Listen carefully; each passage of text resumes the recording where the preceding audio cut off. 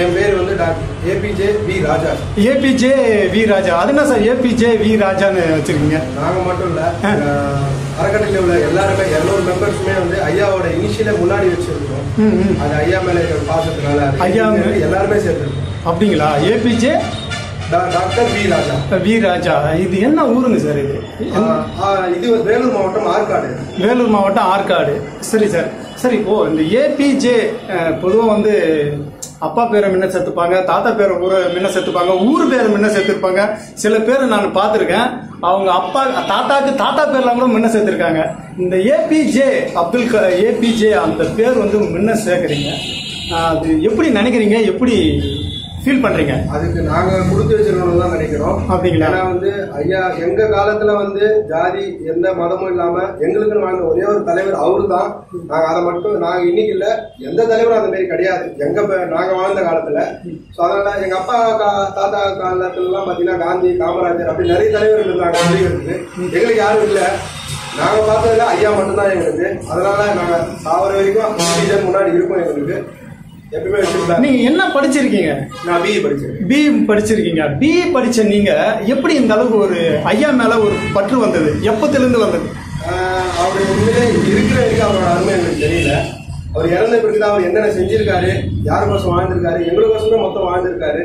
அவர் அந்த காசோ ஜாதியோ எதுவும் பார்க்காம மக்களுக்கோசமே சேவைக்கோசமே இதெல்லாம் பண்ணியிருக்காரு. ஸோ எங்களுக்கோசமே வாழ்ந்ததுனால ஸோ நான் அவர் பேரை வச்சு நம்மளால முடிஞ்ச சிறு சிறு உதவி செயல்கள் செய்யலான்ட்டு நாங்கள் இதில் எல்லாருமே ஸ்டூடெண்ட்ஸாக சேர்ந்து இதில் முழுமையாக பண்ணிட்டு இருக்கோம். ஸ்டூடெண்ட்ஸ் மொத்தம் நீங்க எவ்வளவு மெம்பர்ஸ் இருப்பீங்க? இரநூத்தம்பது பேர் மேலே இருநூத்தி ஐம்பது பேருக்கு. இந்த இருநூத்தி ஐம்பது பேருடைய வேலைகள் என்ன? அதாவது வந்து ஃபர்ஸ்ட் சின்ன சின்னதாக தான் ஆரம்பிச்சோம். இந்த ரோட் சைட் பீப்புள் இருக்காங்க ஆமா. அவங்களுக்கு வார வாரமானா போயிட்டு உணவு தரது வாரத்துக்கு ஒன்ஸ் கொடுத்துருவோம். சரிங்க. நம்ம பசங்க யார் பிறந்தாலும் வந்தாலும் ஐம்பது இருந்து நூறு பேருக்கு சாப்பாடு கொடுத்துருவோம். சரிங்க. சாப்பாடு கொடுத்துருவோம். அதுக்கப்புறம் பாத்தீங்கன்னா மெயின் வந்து இங்க உயிர் உயிர் பாதுகாப்பு தான். உயிர் பாதுகாப்பு. பாதுகாப்பு. அதனால வந்து சிஎம்சில இப்ப வரைக்கும் இந்த நாலு வருஷத்துல ஒரு முன்னூத்தி ஐம்பது நானூறு பேர் கிட்ட பிளட் டொனேஷன் கொடுத்துருக்கோம். சூப்பருங்க சூப்பருங்க. அது போல வந்து சிஎம்சி ஹாஸ்பிட்டல் நம்மளை கூப்பிட்டு விருந்தே வச்சாங்க. அது மூணாவது பாத்தீங்கன்னா இந்த ரோட் சைடு இந்த குளிர்காலத்துல வந்து பெட்ஷீட் இல்லாம ஆமா குளூர்ல நடுங்கி அது ஒரு. நியூ இயருக்கு வந்து நாங்க அதான் நியூ இயர் அப்படி செலிப்ரேட் பண்ணோம் புது விதமா நாங்க. அப்படியா? எப்படி? நான் பெட்ஷீட் கொடுத்து பன்னெண்டு மணி கேக் வெட்டாம அவங்க கூட போய் கொண்டாடுற மாதிரி பெட்ஷீட் எல்லாம் கொடுத்து அந்த மாதிரி கொடுக்குறது ரொம்ப சூப்பரா சொன்னீங்க ராஜா சார். அதுக்கப்புறம் சார் இப்ப இதெல்லாம் செய்யறதுக்கு பொருளாதாரம் பணம் பணம் தேவைப்படுது. இது நீங்க எங்கன்னா ஒர்க் பண்றீங்களா? இல்ல நீங்க சேவை மன போல யாருக்கிட்ட வந்து நீங்க கெட் பண்ணி கொடுக்குறீங்களா? ஆக்சுவலா வந்து நான் ஒரு ஆபீஸ்ல ஒர்க் பண்றேன். சரிங்க. ஃப்ரெண்டு இவன் ஒரு ஆபீஸ்ல ஒர்க் பண்றேன். அவர் பேர் என்னங்க? அவர் பேரு உங்க பேர் சொல்லுங்க சார். என் பேர் மதன். மதன். மதன் நீங்க என்ன பண்றீங்க மதன்? நான் பி முடிச்சுட்டு இப்போ ஒர்க் பண்ணேன் இன்டீரியர் ஒர்க் பண்ணேன் இன்ஜினியர்ல ஒர்க் பண்றீங்க. நீங்க எப்போ இந்த டீமா கூட நீங்க ஜாயின் பண்ணீங்க? டாக்டர் ஏபிஜே அப்துல் கலாம் படிக்கும்போது ஜாயின் பண்ணேன் காலேஜ் படிக்கும் போதே ஜாயின் பண்ணீங்க. சரி. ஒன்னா ஸ்டார்ட் பண்ணேன். அப்படியா சார் உங்க பேர் sir? APJ doctor Mukesh. APJ doctor Mukesh. Wow super sir எல்லாருமே வந்து சொல்லும்போது பாத்தீங்கன்னா அந்த ஏபிஜே ஏபிஜேன்னு கேட்கும்போது ரொம்ப அப்படியே ஒரு மாதிரியா இருக்கு எங்களுக்கு. மீடியாக்காரங்க எங்களுக்கே ஒரு மாதிரியா இருக்கு. நீங்க என்ன ஒர்க் பண்றீங்க? ஆடியோ சிஸ்டம் ஆடியோ சிஸ்டம் எங்க சார்? விரதம் பண்ணேன் விரதம்பட்டு. விரதம்பட்டு. இப்போ புது பஸ் ஸ்டாண்ட்ல இருந்து இப்போ நம்ம உங்களுடைய அலுவலகத்துக்கு வரணும்னா எப்படி சார் வரணும்? வழி சொல்லுங்க. சார் புது பஸ் ஸ்டாண்ட்ல இருந்து டுவர்ட்ஸ் காட்பாடிக்கு பிரிட்ஜை தாண்டி ரைட் சைடுல ஒரு சர்க்கிள் ஒன்று இருக்கும். சரிங்க. அது வந்து கும்பகோண வெள்ளூர் ஃப்ளோர் மில் எதிர்க்க நம்ம. வெள்ளூர் ஃப்ளோர் மில் எதிர்க்க வேற ஒரு வேற ஒரு லேண்ட்மார்க் சொல்ல முடியுமா? இப்போ வெள்ளூர் ஃப்ளோர் மில் எதிர்க்க அதுக்கப்புறம் அந்த கும்பகோணம் ஹாஸ்பிட்டல் குமரன் ஹாஸ்பிட்டல் சரி சார். இப்போ உங்களை காண்டாக்ட் பண்ணணும் அப்படின்னா எந்த நம்பர்ல காண்டாக்ட் பண்ணலாம்? ஆமா சார் இப்போ இந்த அப்துல் கலாம் அறக்கட்டளை வந்து இப்போ வந்து பாத்தீங்கன்னா நம்ம அனிதா டிவி வந்து உலக உலகம் முழுக்க இருக்க மக்கள் வந்து இதை வந்து பார்த்துட்டு இருக்கிறாங்க. அதாவது வந்து நீங்க சேவை மனப்பான்மையா செய்யற அந்த அஹ், பண உதவிகள் அஹ், சாப்பாடு உதவிகள் இருக்க இடம் உடைக இப்படிலாம் நிறைய தரீங்க. பார்க்கக்கூடிய மக்கள் வந்து அவங்களும் வந்து உதவி செய்ய ஆரம்பிப்பாங்க. அப்படின்னும் போது உங்களை எப்படி கான்டாக்ட் பண்றது? வந்து எஃபில எங்களோட பேஜ் இருக்கு sir APJ friends and brothers அது ஓகே சார் ஃபோன் நம்பர் நீங்க தெளிவா சொன்னீங்கன்னா நல்லா இருக்கும் நான் கீழே டிஸ் நேர்களே அதாவது வந்து பாத்தீங்கன்னா இந்த அப்துல் கலாம் அறக்கட்டளையுடைய இவங்களுடைய எண்ணங்கள் செயல்கள்லாம் வந்து பார்க்கும்போது அவங்கள பத்தி தெரிஞ்சு தெரிஞ்சுக்கணும்னா அவங்களுடைய பேஜ் ஃபேஸ்புக் பேஜ்லயும் வந்து நீங்க தெரிஞ்சுக்கலாம். அப்படி இல்லைன்னா அவங்களுடைய நம்பர் வந்து இப்போ சொல்லுவார் நண்பர் வந்து சொல்லுவார். அந்த நம்பரை வந்து நீங்க இது பண்ணுங்க. அது இல்லாம நம்மளுடைய யூடியூப்ல டிஸ்கிரிப்ஷன்ல கீழே கொடுக்குறேன். உங்களுடைய இந்த டீமுடைய நம்பர் வந்து கீழே இருக்கிறவங்க ஒரு குறிப்பிட்ட ஒரு நாலு பேருடைய நம்பர் மட்டும் கீழே தரேன். இப்போ உங்களுடைய நம்பர் மட்டும் சொல்லுங்க sir. Nine five double six four three triple two eight sir number மறுபடியும் சொல்லுங்க. Nine five double six four three triple two eight. Super sir super sir. Sir அவங்க உங்க பேர் சொல்லுங்க சார். என் பேர் வந்து ஏடிகே சந்தோஷ். ஏபிஜே சந்தோஷ். என்ன பண்றீங்க சார்? காலேஜ் ஃபைனல் படிக்கிறேன். காலேஜ் ஃபைனல் பண்றீங்க. அண்ணா வந்து ஸ்டார்ட் ஸ்டார்ட் பண்ணும்போது அவர் பண்ண போஸ்ட் நிறைய ஃபீல்ட்ல சரிங்க. அதை பார்க்க பார்க்க எனக்கு கொஞ்சம் இன்ஸ்பயர் ஆயிடுச்சு. அப்படியா? நம்மளும் போய் சில நம்ம நம்ம நம்மளால முடியும். அண்ணா இருக்காரு அதெல்லாம் சொல்லிட்டு அண்ணா பத்தி நான் எல்லாம் சூப்பருங்க. நாங்க எல்லாருமே ராஜா பார்த்தேன் ஓகே ராஜாவை பார்த்து தான் நீங்க இம்ப்ரெஸ் ஆனீங்க. இப்ப ராஜா கிட்ட மைக் கொடுக்கல ராஜா சார் சொல்லுங்க. பொதுவா இது வந்து இப்போ உங்களுக்கு ஏஜ் என்ன ஏஜ் இருபத்தி நாலு இருபத்தி நாலு ஏஜ் தான் ஆகுது. எத்தனை வருஷமா நீங்க அப்துல் கலாம் ஃபீல்டு அறக்கட்டையில் இருக்கீங்க? நாலு வருஷம், இருக்கீங்க. அப்போ உங்களுடைய ஏஜ் இருபது. இருபது இருந்தது. ஓகேங்களா? பொதுவா இந்த டீனேஜ் இருபது ஏஜ்ல உங்களுடைய செயல்கள் சிந்தனைகள் எல்லாமே ஏதாவது ஒரு நடிகனை திரும்பி தான் இருக்கும். இல்லை ஒரு நடிகைக்கு ஒரு நடிகருக்கு கும்பாபிஷேகம் பண்ணலாமா பாலாபிஷேகம் பண்ணலாமா அவன் படத்துக்கு கட் அவுட் பண்ணலாமா இல்லை ஒரு நடிகைக்கு வந்து நம்ம ரசிகராக இருக்கோம் ஒரு மா தலைவராக இருக்கலாமா செயலாளராக இருக்கலாமா தான் ஒரு எண்ணங்கள் வரும். பொதுவாக இளைஞர் என்னவே? ஆனால் உங்களை இவரை எந்த விஷயத்தில் நம்ம ஏபிஜே ஐயா அப்துல் கலாம் ஐயா அவர் வந்து உங்களை வந்து ஈடுபடுத்துது நீங்க எப்படி இவ்வளோ இருநூத்தி ஐம்பது பீப்புள் இப்போ நீங்க வந்து இம்ப்ரெஸ் ஆயிட்டீங்க. ஐயா மேல நீங்க இம்ப்ரெஸ் ஆயிட்டீங்க ஓகே ஆனா அந்த இருநூத்தி ஐம்பது பேர் அதுவும் ஸ்டூடெண்ட்ஸ் தான். நான் யாருமே வந்து வயசானவங்களாம் யாரும் இல்லை. ஸ்டூடெண்ட்ஸ் தான். அவங்கள எப்படி சார் நீங்க ஒரு ஒருங்கிணைச்சிங்க? அது ஒருங்கிணைச்சுன்னு விட இப்போ எப்படி சொல்றதுன்னா நம்மளுக்கு ஒரு உண்மையான பீப்புள் இருக்காங்கன்னா அது என்னன்னா நம்ம நல்லது செஞ்சாலும் சரி கெட்டது செஞ்சாலும் சரி நம்மளுக்கு உண்மையா இருக்கிறவங்க எப்பவுமே கூட இருப்பாங்க. ஸோ அந்த பேசிக்கில் நான் செ- நான் செய்யறது வந்து நல்லது நீ உங்களுக்கு எல்லாருமே பட்டுச்சு. அது இல்லாம மெயின் விஷயம் என்னன்னா இது இவ்வளவு பெரிய வளர்றதுக்கு காரணம் வந்து இந்த தலைவரை எல்லாரும் ஏற்றுக்கிட்டோம் இவரிடையே வந்து நாங்கள் இந்த ஜாதியோ இதோ எதுவும் பார்க்காம ஐயோ கோசம் மட்டும் செய்யணுன்றது தான் எங்களோட மோட்டிவா இருந்துச்சு ஸோ என்னோட எண்ணம் நல்லதா இருக்கிறதுனால ஸோ எல்லா பசங்களும் என்னோட சேர்ந்துட்டாங்க. நான் கேட்ட கேள்வி நீங்க சொல்ற பதில் ஓகே நான் என்ன கேட்குறேன்னா அது இப்போ பொதுவா சொல்றேன். விஜய் ரஜினி அஜித் கமல் அப்படி சொல்றேன். நடிகர் பெரிய பெரிய நடிகர்லாம் அவங்க எல்லாம் உங்களுக்கு ஈடுபாடு இல்லாம ஈடுபாடே வரலையா? ஈடுபாடு வரலன்னு இல்ல. அது அவங்களோட பிசினஸ் அது. ஓகே அவங்க பிசினஸா பண்றாங்க. அது பிசினஸ் அது நம்ம. எங்களுக்கு என்டர்டைன்மெண்ட் அது ஒரு என்டர்டைன்மெண்டா தான் நாங்க பாக்குறோம் ஆ, அது என்டர்டைன்மெண்ட் தான் நாங்க ஓ, பாக்குறோம் அது அதனால எங்க வாழ்க்கைக்கு யார் பண்ணதுன்னு கேட்டா ஐயா தான் பண்ணிருக்காரு ஐயா தான் பண்ணியிருக்காரு. அப்படியா? அதாவது வந்து நீங்க அனிதா டிவி நேயர்களே சூப்பரா சொல்றாரு பாருங்க. நம்ம ராஜா சூப்பரா சொல்றாரு. அஹ் நடிகர் எல்லாம் பொதுவா வந்து அவங்க பிசினஸ்க்காக தாங்க பண்றாங்க. அதை பார்த்து நம்ம இம்ப்ரெஸ் ஆகிறத விட மக்களுக்காகவே மாணவர்களுக்காக வாழ்ந்த ஏபிஜே அப்துல் கலாம் ஐயாவுக்காக நாங்களாம் வந்து அவருடைய கொள்கையை கடைபிடிச்சு வாழறோம் அப்படின்னு சொல்றீங்க. சார் இப்போ டாபிக் வந்துடலாம். சரி. இந்த இந்த ஏபிஜே அப்துல் கலாம் அறக்கட்டளை வேலூர் மாவட்டம். எந்தெந்த மாதிரியான செயல்கள்ல நீங்க ஈடுபட்டு இருக்கீங்க முன்ன சொன்ன மாதிரி நான் வந்து பிளட் டொனேஷன் நாங்க மெயினா பண்றோம் ஒன்னு blood blood donation donation road side people food. இது வரைக்கும் ஒரு ஃபைவ் தௌசண்ட் பீப்புள் கொடுத்துருக்கோம். ஓ அஞ்சாயிரம் மக்களுக்கு இங்க கொடுத்துருக்கீங்க. வரைக்கும் நாலு வருஷத்துல கொடுத்துருக்கோம். நாலு வருஷத்துல. சரிங்க. அது மாதிரி கொடுத்துருக்கோம். மூணாவது விஷயம் உலக சாதனை பண்ண அறக்கட்டளை. என்ன என்ன பண்ணீங்க? ஏபிஜே ஐயாவோட இனிஷியல்ல தௌசண்ட் தௌசண்ட் ஸ்டூடெண்ட்ஸே அது வடிவில் ஏபிஜே நின்று ஆயிரம் மறுக்கட்டல ஒரே டைம்ல நடக்கும் நடத்துனீங்க. வேற என்ன பண்ணிருக்கீங்க வேற என்ன பண்ணிருக்கோம்னா வந்து இப்போ ரீசெண்டா வந்து பாத்தீங்கன்னா ரோட் சைட்ல மனவளம் குன்றி நிறைய பேர் தெரிஞ்சு எஸ் கண்டிப்பா.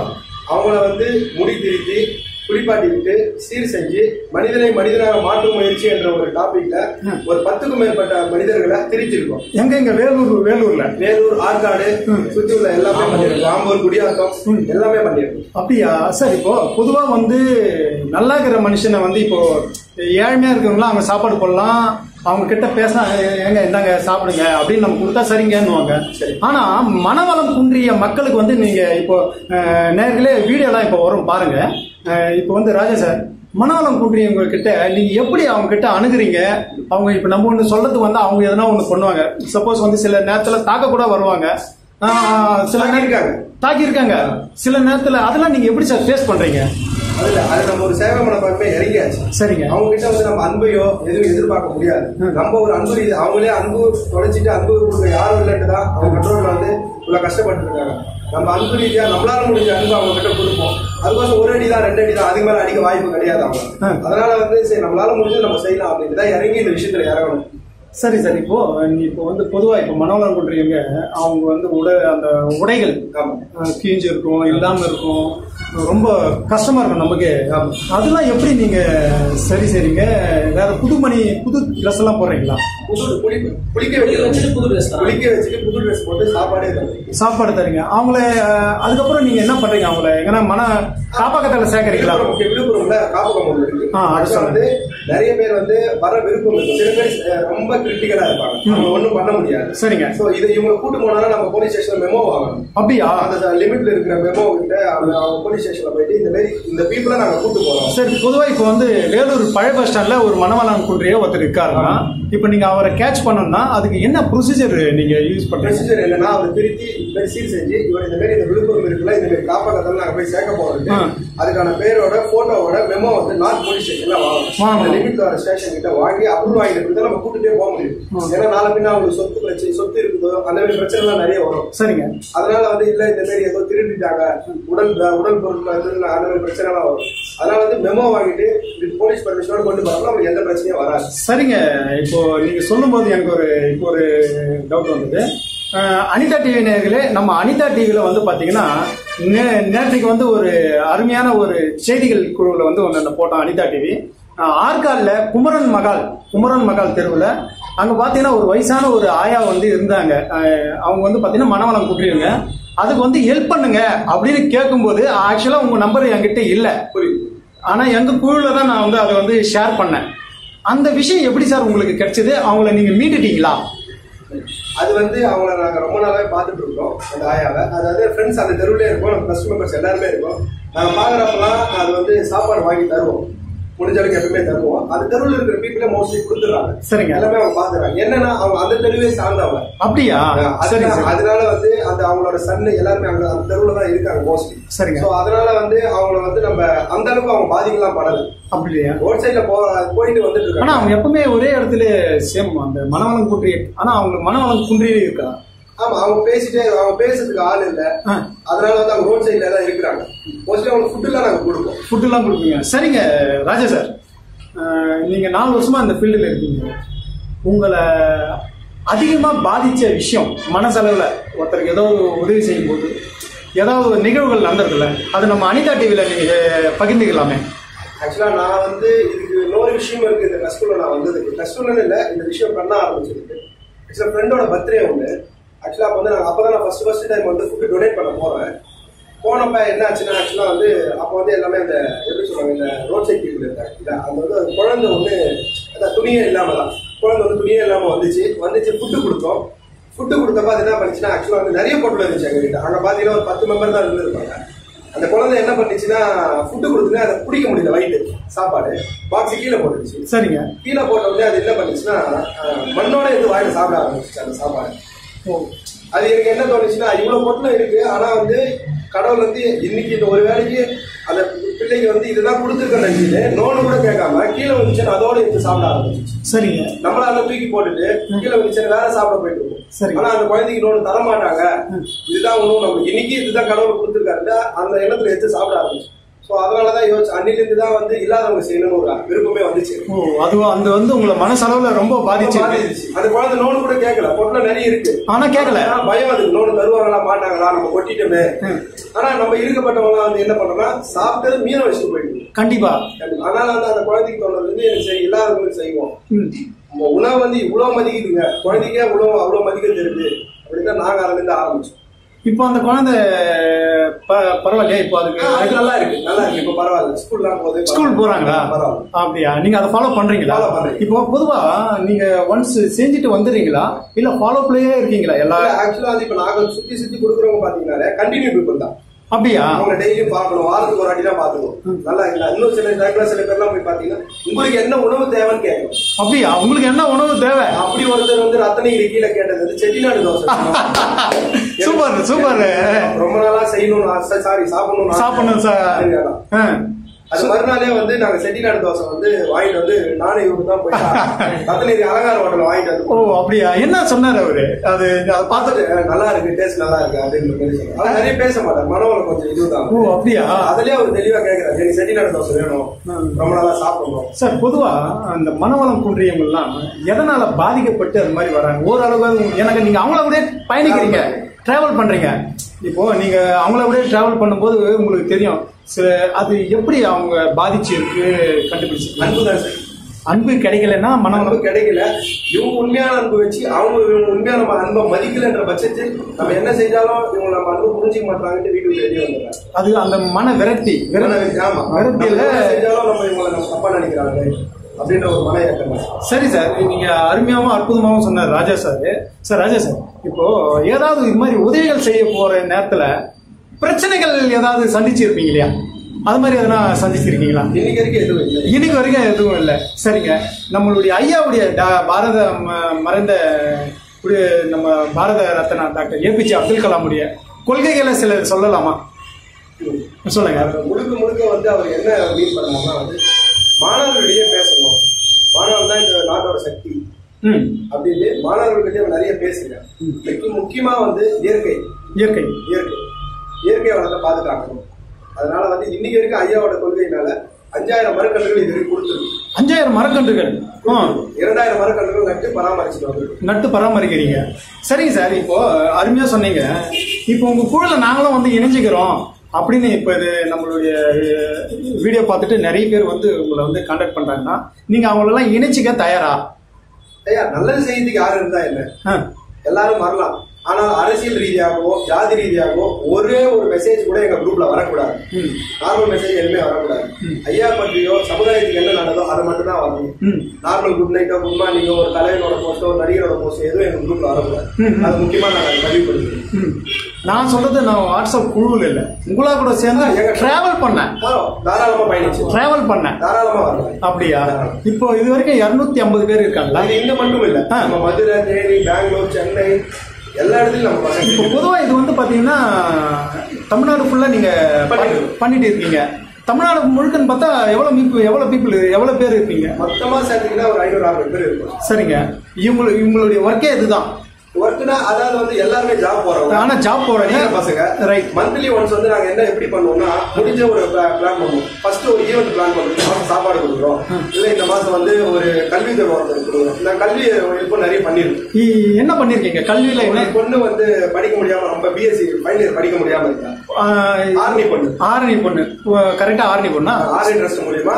நாங்க ஆர்காடும் ஆர்மி ட்ரஸ்டும் சேர்ந்து ரூபாய் அவங்க படிக்கிறதுக்கு அந்த பாப்பா படிக்கிறதுக்கு கொடுத்தா படிச்சுட்டு இருக்கோம் சூப்பர் சூப்பர். சூப்பர் இது மாதிரி எல்லாம் உதவி பண்றீங்க. வேற எந்த உதவி அதே மாதிரி பையனுக்கு ஒருத்தருக்கு ஆக்சிடென்ட் ஆயிடுச்சு. நம்ம சரி. ஃபர்ஸ்ட் பையனுக்கு. ட்ரஸ்ட் பையனுக்கு. ரொம்ப சீரியஸ் ஆயிட்டு சிஎம்சியில் சேர்த்துருக்காங்க சரிங்க. ஓகே அவங்களுக்கு மட்டும் நம்ம ட்ரஸ்ட் நம்ம ரொம்ப க்ளோஸ் ஆகும் அதனால ட்ரஸ்ட் பசங்க எல்லாம் சேர்ந்து ஆர்காடு நம்ம எல்லாமே சேர்ந்து ஒரு லட்சத்தி இருபத்தி ஏழாயிரம் ரூபாய் கொடுத்தாங்க சூப்பருங்க சூப்பருங்க. இப்போ நல்லா இருக்காரு அவரு? இப்போ ஃபைன் ஃபைன் பக்காவா ஆயிட்டான் பக்காவா ஆயிட்டாரு.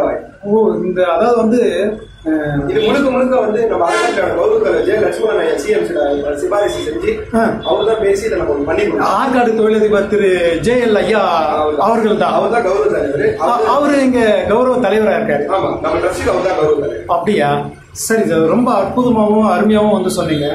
இன்றைய இளைஞர்களுக்கு இன்னைக்கு வந்து பார்த்தீங்கன்னா டிராவல் ஆகிருக்கிற ரொம்ப ஸ்பீடாக ஓடுற உலகம்.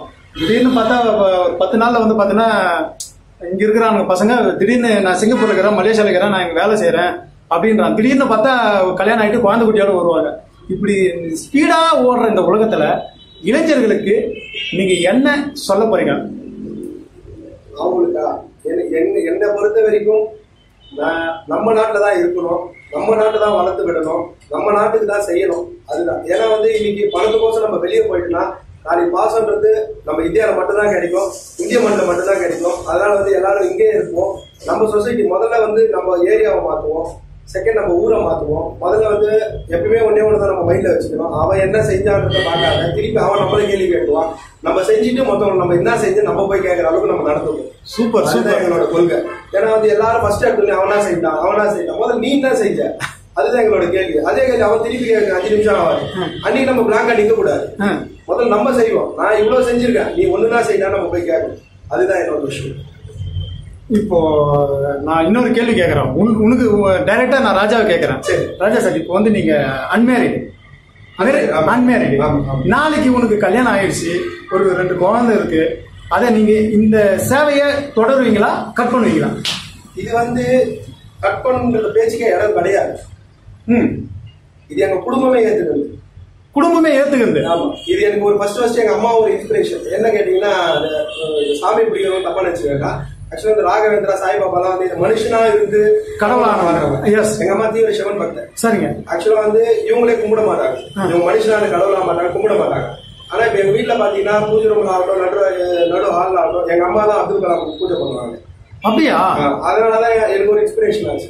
கடவுளே மதிக்கல இப்போ அவ்வளவு பெரிய மனுஷன் அப்படின்னு எனக்கு அப்புறம் இன்னும் புரிஞ்சிச்சு ம் எங்க அம்மா வந்து பண்றாங்க நாளைக்கு உனக்கு துணைவியா வரவங்க இவங்கள அக்செப்ட் பண்ணி உங்களை கூட என்ன புரிஞ்சுக்கணும் யாரு? என்ன அதையும் புரிஞ்சுக்கணும்ல. உன்னை புரிஞ்சுக்கணுங்க அவங்களையும் ஐயாவையும் புரிஞ்சுக்கணும்ல நான் வந்து ஒருத்தர் போயிட்டு சாதாரண ஒரு மனுஷனை சொல்லியே. ஆமா. எங்களுக்கோசம் இப்ப இப்ப என்ன கல்யாணம் பண்ணிக்கிறவங்க ஏஜ் இந்த டீனேஜ் ஏஜ் இது இந்த பீப்புளா தான் இருக்கும். ஆமா. அதனால அது அவங்களுக்கு ஐயா பத்தி ஐயா பத்தி தெரியாதவங்க இந்த உலகத்துல இருக்கவே முடியாது. இருக்க முடியாது. அது வந்து ஹண்ட்ரட் பர்சன்ட் இல்ல டூ ஹண்ட்ரட் பர்சன்ட் உண்மை. இருந்தா மனிதனே கிடையாது. ஆமா. வார்த்தை ஒண்ணு அழகா எழுதி இருக்கீங்க அது என்ன வார்த்தையா? அது வந்து நானா எழுதுனது தான் அது. அப்படியா? சரிங்க. என்ன எழுதி இருக்கீங்க அது இவரை மறக்க வேண்டிய மனிதர் இல்லை. இவரை மறந்தால் நாம் மனிதனே இல்லை. அப்படியா? இதுக்கு கொஞ்சம் தெளிவாகவும் விளக்கமாகவும் கொஞ்சம் விளக்கம் கொடுத்தீங்கன்னா நல்லா இருக்கும். நம்ம அனிதா டிவி நேயர்கள் சில பேருக்கு புரியும் சில பேருக்கு புரியாது. அதுக்கு கொஞ்சம் விளக்கம் தரீங்களா? ஆக்சுவலா வந்து நீங்க வந்து இப்போ நான் நீங்க நாங்களும் பாக்குறோம்னா நம்மள மறக்கிறதுலாம் ஒரு பெரிய விஷயமே கிடையாது. சரிங்க. நம்ம கோசம் வாழ்றதுன்றது வேற சுயநல சுயநலத்துக்கோசம் வாழ்றதுன்றது வேற பொதுநலத்துக்கோசம் வாழ்றது வேற. ஐயா நாட்டு கோசமே வாழ்ந்தது. சோ இவரை மறந்தோம்னா நம்ம மனுஷனா பிறந்ததுக்கே ஒரு அர்த்தம் இல்ல அப்படின்றது அர்த்தம் இல்ல. இன்னைக்கு நிறைய பாத்தீங்கன்னா ஜாதி கோசமோ மதத்து கோசமோ சண்டை போட்டுட்டு இருக்காங்க. ரொம்ப கஷ்டமா இருக்கு. ஆனா அதெல்லாம் தவிர்த்து பொட்டு வச்சுட்டு ஒரு முஸ்லீமா பிறந்து பொட்டு வச்சுட்டு நம்மளுக்கு கோசம் எல்லாரும் ஒண்ணு அப்படின்ட்டு வாழ்ந்த மனுஷன். அதனால அவர் மறந்தா நம்ம மனுஷனே கிடையாதுன்றதுதான் எங்களோட மோட்டிவ் சரிங்க சார் நீங்க ஐயாவுடைய வீடியோஸ்லாம் அவர் பயணித்த வீடியோஸ் அவர் பேட்டி கொடுத்த வீடியோஸ்லாம் பாருங்க அந்த பேட்டிலனா நீங்க கத்துக்கின விஷயம் என்ன? அது அவர் பேசுறப்ப ஒரு தனி ஒரு அன்பு அன்பு. நிறைய பசங்க கிட்ட தான் பேசுவார் அவரோட ஐடியா மொத்தமே ஸ்பீச் மொத்தமே பாத்தீங்கன்னா பசங்களுக்கோசம் மாணவர்களுக்கோசம். அவர் சொன்ன மாதிரி யாரும் இறக்கத்துக்கு கூட அவர் சொல்லி வச்ச மாதிரி இறந்தாரு. எப்படி? மாணவர்களுடைய பேசிட்டு இருக்கும் போதே இறந்தோம் என் உயிர் கண்டிப்பா. அப்படின்னு. அது வந்து ஒரு மனுஷனுக்கு பிறப்பு மட்டும்தான் தெரியும் இறப்பு தெரியாதுன்னுவாங்க சரிங்க. ஆனா இவருக்கு மட்டும் இவரோட இறப்பும் தெரிஞ்சிருக்கு இறப்பும். கடவுளே சொல்லிட்டு இருக்காரு நீ இப்படிதான் இறப்ப அப்படின்னு சொன்னா இது ஒரு எக்ஸாம்பிளே போதும் அப்படியா என்னால சொல்ல முடியாது நான் எப்படி இறப்பேன் இவரால சொல்ல முடியாது ஆமா, கண்டிப்பா முடியாது. ஐயா வந்து சொல்லி அதே மாதிரி இறந்தார் அதுவே ஒரு ஒரு கடவுளுக்கு சமானம் தான் எங்களுக்கு கடவுள் தான் உங்களுக்கு கடவுள் தான் அனிதா டிவி நேயர்களே நம்ம ராஜா ராஜா சார் வந்து பார்த்தீங்கன்னா தமிழ்நாடு முழுக்க doctor Bharat Ratna doctor APJ Abdul Kalam அவருடைய ட்ரஸ்ட் வச்சு நடத்துறாங்க. அஹ், தமிழ்நாடு முழுக்க இது வந்து பரவிட்டு இருக்கு. இப்போ நீங்க எல்லாமே ஒரே ஒரு குடும்பமா தான் செயல்படுறீங்க. தமிழ்நாடு ஃபுல்லாவே குடும்பமா அவ்வளவுதான். ஏபிஜே குடும்பம். குடும்பம். இது வரைக்கும் நம்ம ட்ரஸ்ட் பாராட்டி வந்து மூணு தேசிய விருது வாங்கியிருக்கோம். ஆ அப்படியா? என்னென்ன கொடுத்துருக்காங்க? ஆக்சுவலா வந்து சிறந்த சமூக சேவை எனக்கு இருபத்தஞ்சு வயசு உட்பட்டவங்க வந்து மலேசியால எனக்கு கொடுத்தாங்க. சூப்பர். ரெண்டாவது வந்து இப்போ இன்டர்நேஷனல் அவார்டு சென்னையில் வந்து கலாம் புக்ஸ் ஆஃப் அது பெஸ்ட் என்ஜிஓக்கும் பெஸ்ட் சோஷியல் சர்வீஸ் அவார்டு எனக்கு கொடுத்தாங்க. சரிங்க. இதை நாங்க ஏபிஜே அந்த வேர்ல்ட் ரெக்கார்ட் பண்ணதை பார்த்துட்டு ஐயாவோட குடும்பத்தை சேர்ந்த அவரோட ஷேக் சலீம் ஐயா கூப்பிட்டு. எங்களை வீட்டுல ஒரு நாள் பாராட்டு ஓ அவருடைய ஐயா வீட்டு குடும்பத்திலே. குடும்பத்திலே. ஆக்சுவலா ஐயா அப்துல் கலாம் இன்டர்நேஷனல் ஃபவுண்டேஷனோட வெள்ளூர் மாவட்ட ஒருங்கிணைப்பாளரும் நான் தான் இருக்கேன். நீங்க தான் இருக்கீங்க. சரிங்க ஐயா இப்போ உங்களை வந்து டைரக்டா தொடர்பு கொள்ளணும் அப்படின்னா இப்போ இவர் ஒரு நம்பர் சொன்னார். வேற ஒரு நம்பர் இருக்கா? என் நம்பர் சொல்லுங்க ஐயா. Eight four two double eight double two three six eight okay இந்த நம்பரை தொடர்பு கொண்டா உங்களை கான்டாக்ட் பண்ணலாம். பண்ணலாம். கான்டாக்ட் பண்ணலாம். உங்களா கூட சேர்ந்து சோஷியல் ஒர்க் பண்ணலாம். பண்ணுங்க சரி ராஜா சார் வந்து பாத்தீங்கன்னா அற்புதமா நமக்கு வந்து பேட்டி அளித்தாரு. சார் ரொம்ப நன்றி சார். நீங்க பேட்டி அளித்ததுக்கு ரொம்ப நன்றி. கடைசியா ஒன்னே ஒன்று மட்டும் சொல்லிக்கிறேன். சொல்லலாம் சார். என்னன்னா இப்போ இது என்னால மட்டும் இல்ல என் கூட பயணிச்சு எல்லாருமே இதுல வந்து மாணவர் அணி இளைஞர் அணி ஐடி விங்கு தனித்தனியா தனித்தனியா இவ்வளவு ஒர்க் பண்ணிட்டு இருக்காங்க பசங்க. ஸோ எல்லாருமே இது வரைக்கும் ஹெல்ப் பண்ணிட்டு இருக்கேன் இது மாதிரி ஹெல்ப் பண்ண போறேன் ஏன்னா வந்து நம்ம ஒண்ணுங்கிறது பிரச்சனை நம்ம மட்டும் செய்ய முடியாது இல்லைங்களா? நம்ம செய்யணும் தனிப்பட்ட இருக்கும் ஆனா இவ்வளவு பெருசா வளர்றப்ப இதுக்கு எப்படி சொல்றது அடிப்படை உறுப்பினர் முதல் கொண்டு நான் நன்றி தெரிவிக்கிறேன். எப்பவுமே வந்து இது தொடர்ந்து செய்வோம். ஐயா கொசம் நிறைய செய்வோம். நன்றி ராஜா சார்.